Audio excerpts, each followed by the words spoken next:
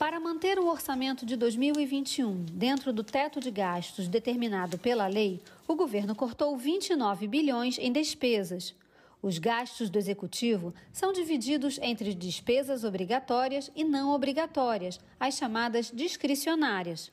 O valor cortado corresponde a 22% de todo o orçamento para despesas discricionárias. A medida garantiu o cumprimento do teto, mas o governo agora enfrenta outro risco. Segundo nota técnica da Instituição Fiscal Independente do Senado Federal, pode haver a paralisação de serviços públicos e políticas essenciais este ano. O problema agora é que o risco passa de romper o teto para paralisar a máquina pública, o chamado shutdown, a paralisação da máquina. Porque o nível de despesas discricionárias com que o governo vai ter que trabalhar neste ano é o menor da série histórica, 74,6 bilhões.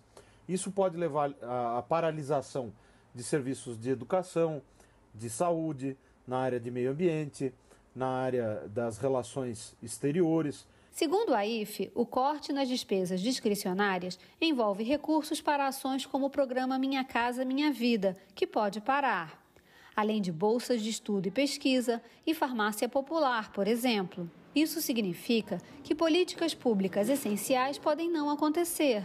Um exemplo foi a decisão de corte do censo demográfico do IBGE deste ano. O ministro Marco Aurélio Melo, do Supremo Tribunal Federal, determinou que o governo retome a realização do censo, o que ainda será analisado pelo plenário do STF nós podemos ver dois fatores que nos levaram até esse cenário.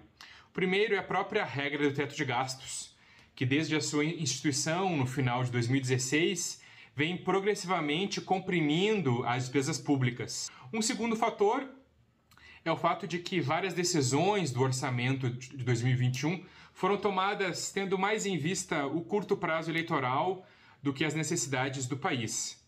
Então, nesse cenário de já grande escassez orçamentária, o conflito cada vez mais acirrado são os serviços públicos e a manutenção dos órgãos federais que podem ficar comprometidos.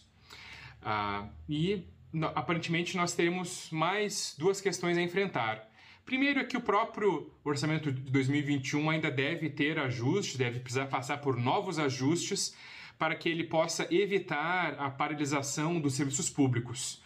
E o segundo é que se faz cada vez mais urgente uma revisão das regras fiscais vigentes no país para que situações como essa do orçamento 2021 não voltem a se repetir. Segundo o Tesouro Nacional, se o censo for confirmado, outras despesas dos ministérios terão que ser bloqueadas, mas não há risco de shutdown ou de paralisação do executivo.